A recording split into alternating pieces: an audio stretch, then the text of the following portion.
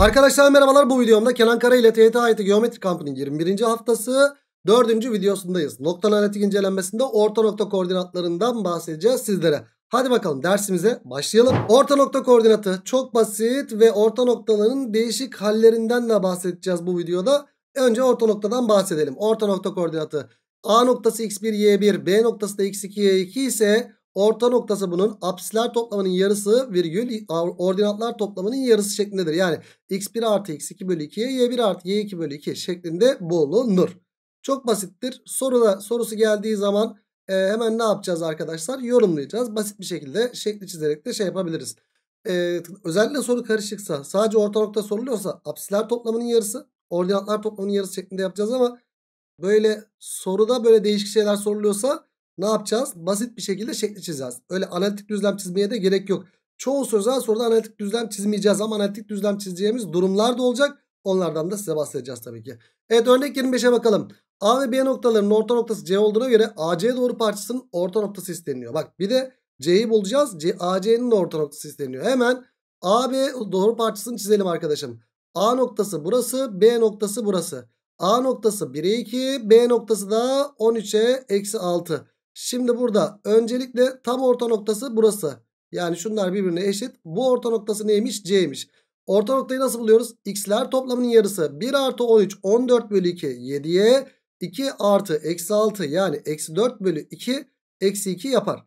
E şimdi ne yapacağız? Bir de AC doğru parçasında işte bunun da orta noktası isteniliyor bizden. Bunun da orta noktası şurası değil midir? Evet buna da D noktası diyelim. D noktası da ne olacaktır? 1 artı 7 bölü 2'ye 2 artı eksi 2 bölü 2 yapacaktır. 8 bölü 2 4'e 0 bölü 2'den 0 noktası olarak buluruz cevabı. Evet örnek 25'in cevabı böylelikle 4'e 0 noktası yaptı. Geldik bir sonraki soruya.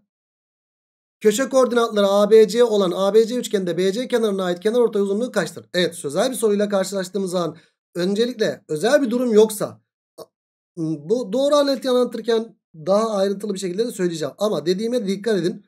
Böyle özel bir durum yoksa özel bir durum x eksen üzerinde olması işte orijinde olması gibi gibi gibi işte x eksenine dik doğrular y eksenine dik doğrular y eşittir x doğrusu gibi durumlar özel doğrulardır. Yani özel durumlardır. Bu özel durumlar olmadığı sürece basit bir şekilde şekli çizmenizi tavsiye ediyoruz. E o zaman burada basit bir şekilde şekli çizelim. ABC üçgeninden bahsetmiş öncelikle. Hemen ABC üçgenini rastgele çizelim. Analitik düzlem çizmeyelim. Dediğim gibi özel durumlar olduğunda analitik düzlemi çizeceğiz.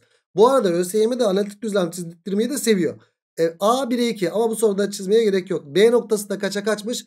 3'e eksi 9 ve C noktası da 15'e eksi 17 olarak verilmiş. Şimdi bana diyor ki BC kenarına ait kenar ortay uzunluğu. BC'ye ait kenar ortay uzunluğu A'dan çizilen kenar ortay değil midir? Evet. İşte bizden bu kenar ortay uzunluğu kaçtır diye soruluyor arkadaşlar. Buraya da bir D diyelim isterseniz. Öncelikle burada ne yapmam lazım arkadaşlar? Şurası bakın eşit oldu. Yani D noktasını orta noktayı bulmak bulmalıyız. Burası neydi? 3'e eksi 9'du. 3 artı 15 yani 18 bölü 2'den 9'a eksi 9 a, eksi 17 o da 20 eksi 26 mı yapıyor? Eksi 26 bölü 2'den eksi 13 yapar. E artık ben bu noktayı bulursam benden bu kenar orta uzunluğu isteniyordu. Yani AD uzunluğu isteniyor benden. O da kare içerisinde x'ler farkının karesi artı y'ler farkının karesiydi. Ama bence bu karekök içindekine gerek yok. X'ler farkı kaç? 8. Y'ler şöyle çizeyim isterseniz. X'ler farkı 8. Y'ler farkı kaç? Eksi 15. Yani uzunluk olarak 15. 8, 15 ile üçgeni 17 üçgeninden kolaylıkla cevaba ulaşabiliriz. Dolayısıyla bu sorunun doğru cevabı 17 çıktı. Geldik bir sonraki soruya. Hmm, bu sefer değişik bir soru. Dikdörtgen şeklindeki ABCD kağıdı simetri eksenleri boyunca önce sola sonra aşağı doğru katlanmıştır. Bu dikey simetri ekseni boyunca sola katlanmış. Yatay simetri ekseni boyunca da ne yapmış? Aşağı doğru katlanmış. Aynı katlamalar birer kez daha yapılırsa kağıdın sağ üst köşesinin koordinatları ne olur? Arkadaşım sen önce ne yaptın? Şunu şöyle katladın. Bu dikdörtgeni elde ettin. Bu katlamada şunlar birbirine eşit değil mi? Evet. E sonra sen bunu böyle katladığın zaman şu simetri eksen olduğu için bunlar da birbirine eşit değil mi? Üst üste binecek. Evet. Yani sen bu katlamayı da şunun üstünde göstereyim. Şöyle bir katlama yaptın. Önce böyle katlayarak buraya geldin. Buradan da şöyle bir katlama yaptın. Hatta bunun devamını getirirsek. Şunlar da ne oldu? Birbirine eşit oldu. Şunlar da birbirine eşit oldu. E sonra ne oldu arkadaşım? Şu kağıdı elde ettin. Bu kağıtta da aynı katlamaları yapacaksın. Yani bu katlamalarda burası A noktası 9'a 20. Buradaki noktayı biliyor musun bilmiyorsun. Ama işte oradaki nokta burası. Hocam burayı nasıl bulacağım? Şu noktayı bulursam bu noktayı bulursam ikisinin orta noktası diyebiliriz. Ya da burası tam böyle simetri eksenlerin kesim noktası. Köşegenin kesim noktası değil midir o köşegenlerin kesim noktası? Yani sen bunu çizecek olursan tam bu köşegen bu noktadan geçmek zorunda değil mi? Evet. Çünkü e, buradan çizdiğin zaman köşegenler birbirini ortalıyordu ya. Yani simetri eksenlerin kesim noktası tam ağırlık merkezidir. Tam ağırlık merkezinden geçecek. Bu arada şunlar da birbirine eşit değil mi? Evet aynen öyle. A burada ne çıktı? A ile C'nin orta noktası tam buradaki nokta. Bu da 9 artı 25 34 bölü 2'den 17'ye 20 artı eksi 4 16 bölü 2'den 8 yapar. Evet buradaki noktayı 17'ye 8 bulduk arkadaşlar. Aynı hamleyi bir daha yap diyor sana. Yani sen bu doğru boyunca şöyle bir sağa katla. Şöyle tam orta noktası boyunca sağa katla. Sonra bunu da tam böyle sağa katla. İşte bizden neresi isteniyor ondan sonra burası isteniyor. Bu katlamalar sonucunda şunlar birbirine eşit şunlar da birbirine eşit değil mi? Evet. E senin bu tam köşegenlerin kesim noktası yapmak zorunda burası. E o zaman şunlar da birbirine eşit olacağından dolayı senden bu katlamalar birer kez daha yapıldığında buradaki nokta sağ üst köşe. Yani şuradaki dikdörtgendeki sağ üst köşe isteniyor. Buradaki nokta isteniyor. Orta nokta olduğundan dolayı 17 artı 9 26 bölü 2'den kaç yapıyor arkadaşlar burası? 13 yapıyor burası. Virgül 20 artı 8 28 bölü 2'den kaç yapıyor burası da? 14 yapıyor. Evet cevabımız o zaman ne yaptı? 13'e 14 noktası yaptı gençler. Evet cevabımız bu yaptı. Güzel bir soru. Hoş bir soru. Simetri eksenini dikdörtgende kullandıran. Ne dedik konuyu başlarken? Üçgenler karşımıza çok çıkıyor. Dörtgenler önceki konular karşımıza çok çıkıyor demiştik. İşte buyurun dikdörtgensel bilgi karşımıza çıktı. Bu dikdörtgensel bilgi yani bunun çizdiğinde tam köşegenin kesim noktası olduğunu bilmezsek bu soruyu yapabilir miyiz? Yapamayız. O yüzden eski konularda burada şart. Evet. Şimdi geldik bir dikkate. Dikkat. Bir doğru parçasını verilen oranda bölen noktaların koordinatları bulunurken oran orantı yöntemi kullanılır. Bununla ilgili bir kitaplarda bazı kitaplarda formül bulursunuz arkadaşlar. Formül var. Ama hayatım boyunca ben o formülü kullanmadım. Gereksiz. Sen de kullanma. Çünkü çok rahat bir şekilde yaparsın. Basit bir şekilde şekli çizmeni istiyorum burada. Evet bak soruya bak. A ve B noktaları verilmiş. CA bölü CB'yi de vermiş. Basit bir şekilde şekli çizelim. Arkadaşım şimdi C eleman AB demiş. AB doğru parçasını öncelikle şöyle bir çiziyoruz. AB doğru parçasını çizdim. A noktası 1'e 2. B noktası kaça kaç? B noktası da 11'e eksi 13 noktasıymış. Şimdi C alacakmışım. Bu ifade de bak çok önemli. C eleman AB diyor. Yani AB doğru parçasının elemanı. Yani C noktasını sen burada alacaksın. Peki şöyle olmuş olsaydı C elemanı AB demiş olsaydı o zaman şu A'yı çizdin B'yi çizdin. C AB doğrusunun elemanı olacaktı. Bak köşeli parantez olmasaydı. Yani C noktası o zaman seçenekler çoğalır. C noktası burada olabilir. AB doğrusunun üstünde AB'nin sağ tarafında olabilir. Ya da AB'nin sol tarafında olabilir. O zaman 3 ihtimalle karşı karşıya kalacağız. Buna da lütfen dikkat et. Tamam mı? A burada AB doğru parçası dediği için C içinde olacak burada. CA bölü CB 2 bölü 3 demiş. Hocam burası 2K iken burası da 3K vermiş. He, şimdi arkadaşım bak şimdi şunu yorumlayacağız. 1'den 11'e arkadaşlar 5K var. İster soldan başla ister sağdan başla. Hiç fark etmez. Soldan başladıysan hep sola dayalı gideceğim. 1'den 11'e kaç yükselmiş? Hocam 10 yükselmiş. Önce apsislere bakıyorum. 10 yükselmiş. 5K'da 10 yükselmiş. Bak oran orantı yöntemiyle yapıyorum. 5K'da apsis 10 yükselmişse A'dan C'ye 2K var. 2K'da kaç yükselir onu bulacağız. 5K'da 10 yükselmişse K'da o zaman e, kaç yükselir? 2 yükselir. E o zaman buradan buraya 2K var. 2K'da kaç yükselir? Ona bakacağız. 4 yükselir. O zaman sen 1'den 4 yükselteceksin. 1 artı 4 yaptı burası. Sonra gelelim şeye ordinata. Ordinatta bakacak olursak hocam 2'den eksi 13'e ne olmuş? 2'den 0'a 2 azalmış. 0'dan da 13'e kaç azalmış? 13 azalmış. Toplamda 15 azalmış. Ya da işte eksi 13 eksi 2 de diyebilirsiniz. Şundan şunu çıkartabilirsiniz. Hocam eksi 15. Eksi 15 demesi ne demek?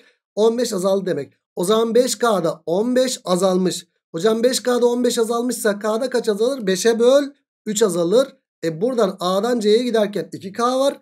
O zaman 2K'da da 6 azalır diyeceğiz. O zaman 2K'da da 6 azalırsa apsisimiz 2 idi.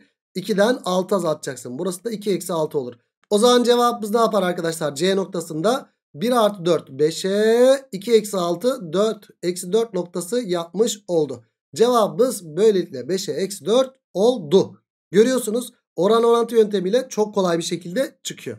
Geldik bir sonraki soruya. A1'e 2, B eksi 7'ye 5 ve C eleman AB olmak üzere. Dikkat edin biraz önce bundan da bahsettim zaten. Burası önemliydi. Neyse soru içerisinde bahsedeceğiz. C A bölü CB 3 bölü 5 eşitliğini sağlayan C noktasının apsisleri toplamı isteniyor. Apsislere bakacağım sadece. Şimdi ne yapacağım arkadaşlar? C eleman AB diyor. O zaman ben buradaki C noktasını şöyle seçebilirim. Şöyle çizdim. C eleman AB demiş. Hocam A noktası burada. B noktası da burada. Seçip ben C noktasını nerede? İçinde bir yerde seçebilirim. A 1'e 2'yi de hemen A 1'e 2'yi yazalım. B de eksi 7'ye 5'i yazalım. Eksi 7'ye 5 yazdık. Ve C eleman AB diyor. C ikisinin ortasında olabilir. Ve oran ne? CA bölü CB 3 bölü 5. Hocam burası 3K iken burası 5K olacak. Peki şimdi yön olarak şurayı seçelim. Sağa doğru gidelim. 1'den eksi 7'ye ne olmuş? Hocam 1'den eksi 7'ye azalma var. Ne kadar azalma var? Eksi 7 eksi 1'den eksi 8 yapıyor. 8 azalma var.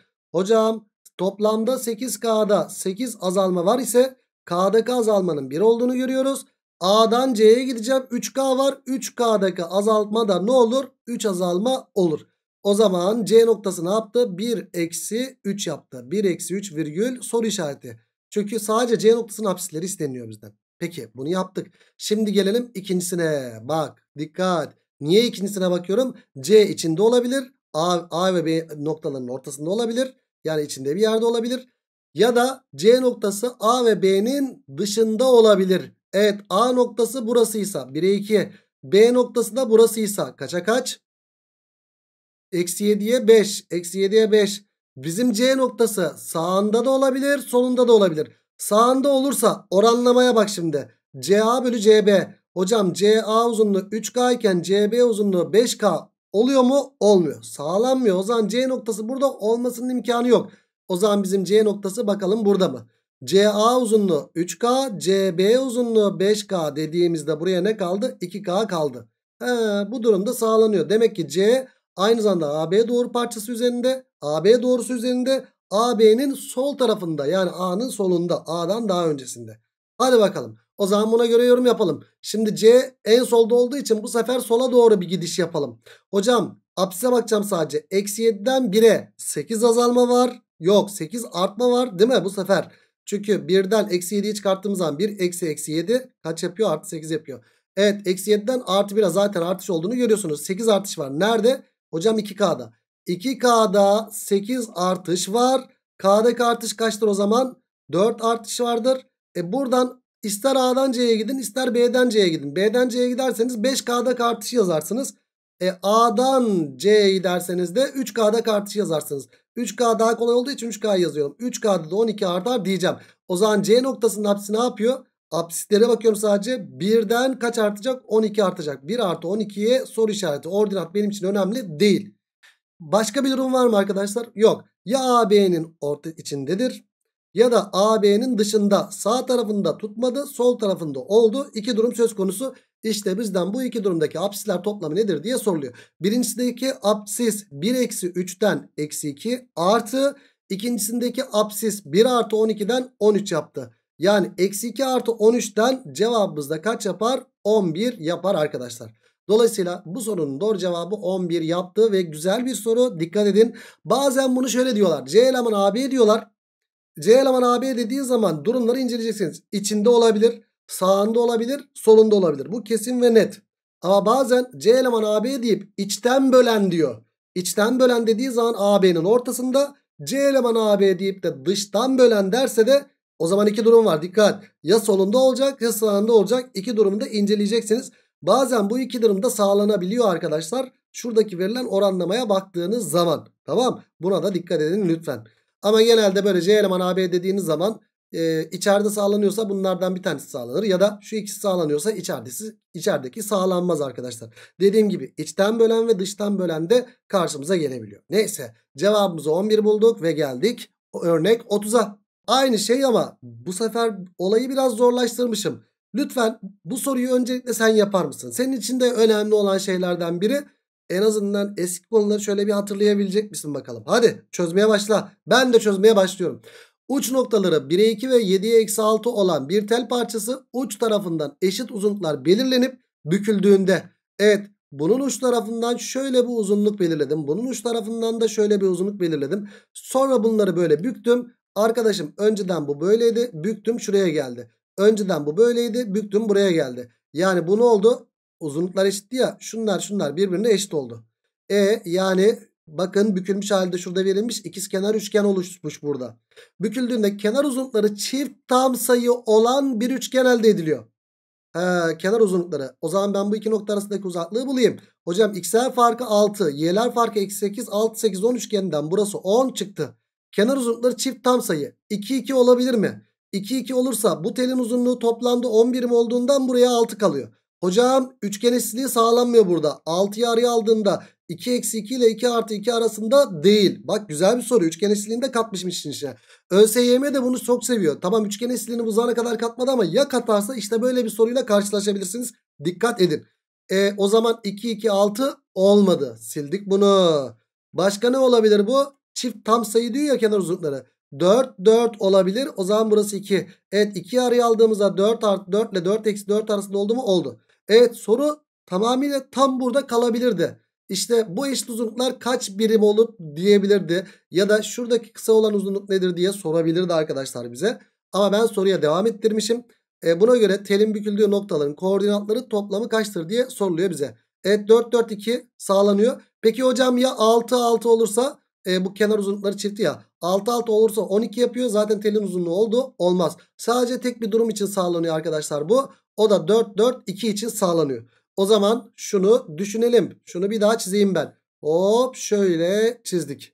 Böyle çizdiğimizde A noktası kaça kaç? 1'e 2. B noktası kaça kaç? Eksi 7'ye eksi 6. Ve şuradan bükmüştük. Şuraları ben 4 4 2 diye bulmuştum. Yani şurası 4 şurası da 4 birim olacak. 4 birim 4 birim ve 2 birim olacak uzunluk olarak. E uzunluk olarak 4 birim 4 birim 2 birim bizden ne diyor? Telin büküldüğü noktaların koordinatları toplamı isteniliyor bizden. Yani burası K noktası diyelim. Buraya da L noktası diyelim. K ve L noktalarının koordinatları toplamı isteniliyor bizden. E, K'yı bulalım arkadaşlar. Hadi bakalım bulalım. K'yı bulurken bu yönle gitmek istiyorum. 1'den 7'ye 6 mı yükselmiş? Evet. 6 yükselmiş. 1'den 7'ye 6 yükselmiş. Kaçta? 4, 8, 10'da. 10'da 6 yükselmişse eğer 1'de 0,6 yükselir. E buradan buraya 4 var. 4 birimde kaç yükselir o zaman? 4 birimde kaç yükselir? 2.4 yükselir. Hatta buradan buraya 6 birim var. 6 birimde kaç yükselir? 1'de 0,6 idi ya. 6 ile çarptığın zaman 6 kere 6 plus 6 3,6 yükselir. O zaman ben buraya 1'e K noktasını bulurken 1'e kaç ekleyeceğim? 2.4 ekleyeceğim. Yani burası 3.4'e 3.4'e L noktası ne yaptı arkadaşlar? 3,6 ekleyeceğim. 1'e 3,6 ekleyince de 4,6 yapar burası. Evet büyük virgülleri de şöyle koyalım. Şimdi ordinatlara bakalım. 2'den eksi 6'ya kaç düşmüş? 8 düşmüş değil mi? Eksi 6 eksi 2'den 8 düşüş var. Evet 10 birimde 8 düşüş varsa 1 birimde 0,8 düşüş olacaktır. Buradan bakın e, ordinatlara bakacağım burada. O zaman burada 4 birim K'ya gelene kadar 4 birim var. 4'teki düşüş ne olur? 4 çarpı 0,8'den 4 kere 8 32'den 3,2 düşer. 6'daki düşüş ne olur o zaman? Çünkü L'yi bulmak için de A'dan sağa yönlü gidiyorum ya. 6 birim var burada. Alttaki düşüş de 1'de 0,8 ise 6 kere 8 48 yani 4,8 düşüş olacaktır. E o zaman buradaki düşüşleri bulurken 1'den 3,2 çıkartacağım. Arkadaşım 1'den 3,2 çıkarttığın zaman 3,2'den pardon 1 değil ordinatlara bakıyorum. 2'den 3,2 çıkartacağım. 3,2'den 2 çıkartırsam 1,2 yapar. Yani burası negatif olacak. Eksi 1,2 olur. Sonra 2'den kaç çıkartacağım? 4,8 çıkartacağım. 4,8'den 2 çıkarsa 2,8 olur. Ama 2'den 2 4,8 çıkınca da eksi 2,8 mi olacaktır? Evet. Evet noktaları bulduk arkadaşlar. Bizden ne isteniyor? İşte bunların toplamı isteniyor. Telin büküldüğü noktaların koordinatları toplamı nedir diye soruluyor. Şunların hepsinin toplamı yani 3,4 artı eksi 1,2 artı 4,6 artı artı sonra ne var? Eksi 2,8. Eksi 2,8'leri toplayacağız. Arkadaşlar şu ikisinin toplamı kaç yaptı? 8 mi yaptı? Evet 8 artı şu ikisinin toplamı kaç yaptı? Şu ikisinin toplamı da 2, 3, 4 yaptı. Yani eksi 4 yaptı. O zaman cevabımız da böylelikle artı 4 çıkar arkadaşım. Güzel bir soru değil mi? Evet gerçekten güzel bir soru. Yani burada sadece ya bayağı bir kazanım e, sorulmuş tabi burada. Üçgen eşitsizliği falan da var. Üçgen de var. Tabi oran orantı yöntemi de var burada. ÖSYM'de sorar mı? Sorabilir valla. Bu mantıkta bir soru. Biliyorsunuz artık biz buna yeni nesil diyebiliriz. Niye?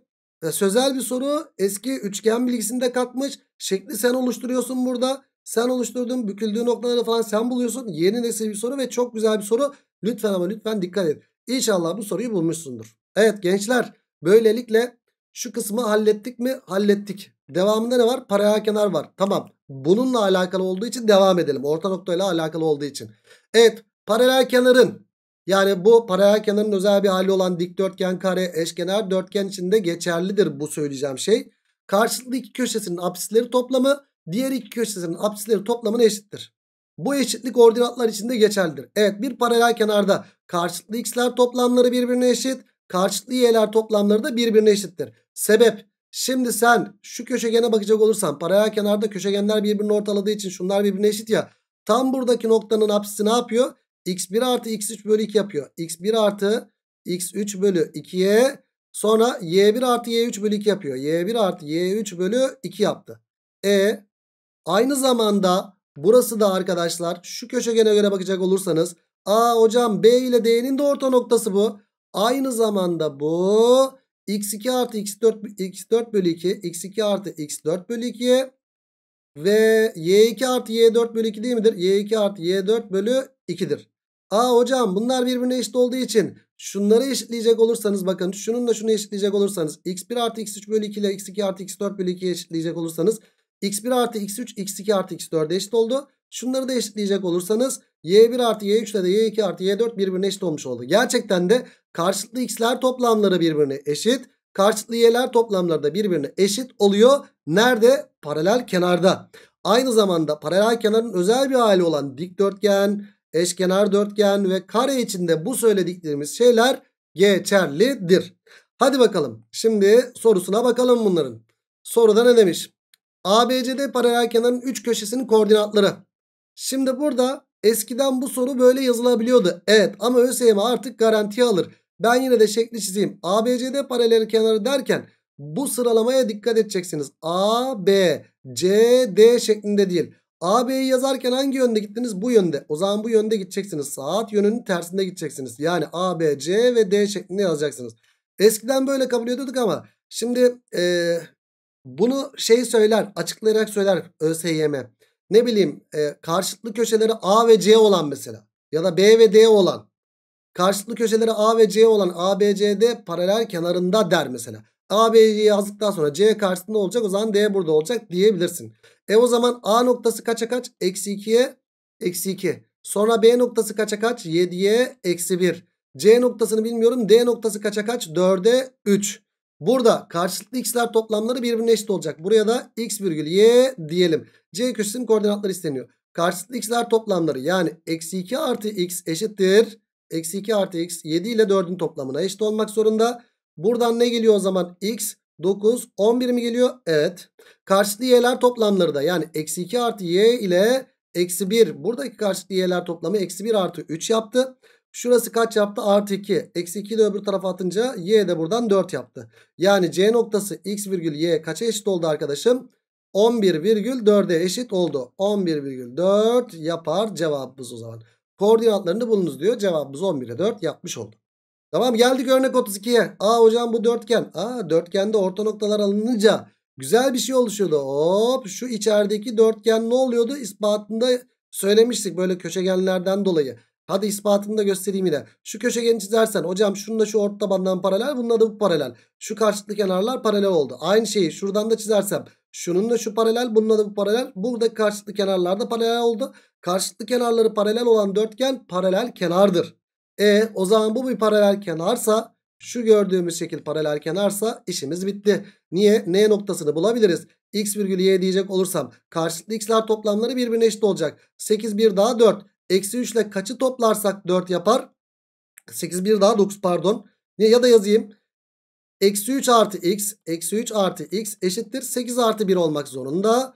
Buradan x ne yapıyor? 9 artı 3'ten 12'ye eşit oluyor. Sonra 4 artı y de buradan. 4 artı y de karşılıklı y'ler toplamı.